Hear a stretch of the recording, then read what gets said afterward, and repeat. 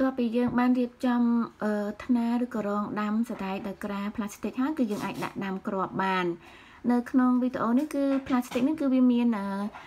ប្រហោងស្រាប់តែម្ដងដោយយើងអាចដាក់ដាំគ្រាប់បានតែម្ដងប៉ុន្តែបើអត់ទេគឺយើងអាចយកកវិតឆ្នោតនៅលើស្បោងផ្លាស្ទិកនឹងបាន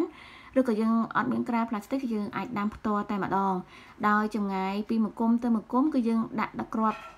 ឃ្លាតគ្នា30សង់ទីម៉ែត្រហើយនឹងកប់គ្រាប់នៅក្នុងដីហ្នឹងប្រហែលរាក់ទេត្រឹមតែ1សង់ទីម៉ែត្រចូលទៅក្នុងដីតែប៉ុណ្ណោះ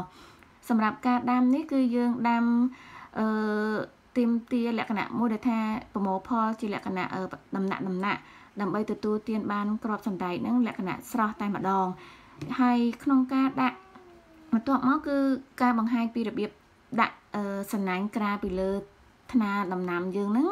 គឺទៀមទាឲ្យយើងមានដែកកោងតែបើបងប្អូនអត់មានដែកកោងក៏យើងអាចប្រើជាលក្ខណៈអាស័យ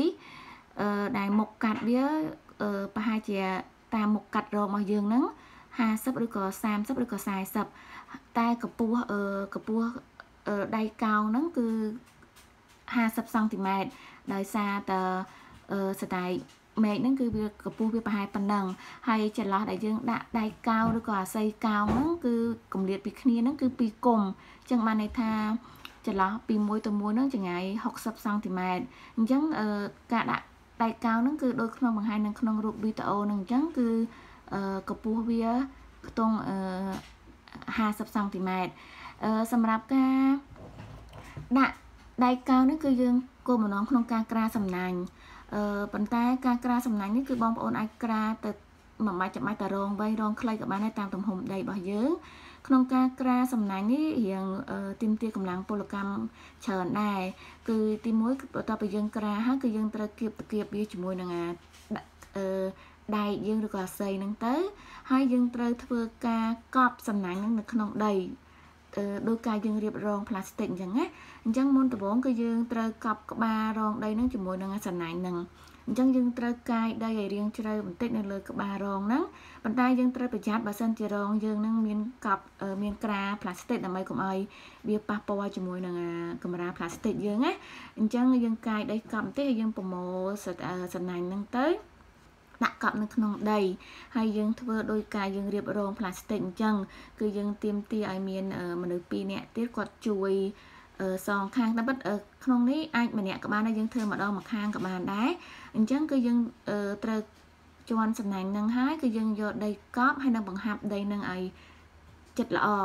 អញ្ចឹងការក្រាសំណាញ់ហ្នឹងគឺអត្ថប្រយោជន៍របស់វាហ្នឹងគឺជួយការពារសត្វល្អិតកុំឲ្យវាចូលទៅបំផ្លាញ សដែកយើងហើយយើងត្រូវកប់វានៅក្នុងដីកែមរងនឹងឲ្យបានចិត្តល្អព្រោះពេលខ្លះនៅក្នុងដីចកាឬក៏វាស្រែយើងនឹងគឺអាចមានកដលអញ្ចឹងកដលវាអាចចូលទៅក្នុងនឹងស៊ីដើមសដែករបស់យើង ហើយការកប់នេះយើងកប់ឲ្យណែនទៅវាជួយការពារទឹកភ្លៀងខ្លាំងដែលអាចធ្វើឲ្យបាក់មែកបាក់ផ្លែឬក៏ខ្ទេចផ្កាសដែកយើងអញ្ចឹងផ្កាសដែកសដែកយើងវាអត់កាន់ផ្លែអញ្ចឹងអឺ ការដាំសដែកមែកហ្នឹងគឺរៀងអឺម៉ត់ចត់នៅក្នុងការថែទាំបន្តិចដើម្បីឲ្យឲ្យប្រកាសថាការទទួលផលសដែករបស់យើងគឺបានផ្លែល្អចឹងដូចបងប្អូនបានឃើញក្នុងវីដេអូនឹងអញ្ចឹងគឺការរៀបចំថ្នាដាំសដែកមេឃគឺមានលក្ខណៈបែបនេះអឺសម្រាប់ការសម្រាប់សំណាញ់នេះគឺបងប្អូនអាចបើកវា បើសិនជាបងប្អូនចាំបាច់ត្រូវបើកស្រោចទឹកបើសិនជាយើងអត់មានទឹកភ្លៀងគ្រប់គ្រាន់យើងអាចបើកស្រោចទឹក យើងអាចបើកមើលអឺសដែកយើងបានអត់មានបញ្ហាទេប៉ុន្តែគ្រាន់តែថាបន្ទាប់មកគឺយើងត្រូវកាយកប់វិញវាវិញឲ្យស្អាតដូចដើមជៀសវាងដូចខ្ញុំបានបញ្យល់អញ្ចឹងជៀសវាងការមានសត្វល្អិតអីចូលអញ្ចឹងការរៀបថ្នាសដែកគឺលក្ខណៈបែបនេះ សង្ឃឹមថាបងប្អូនអាចយកទៅអនុវត្តបាន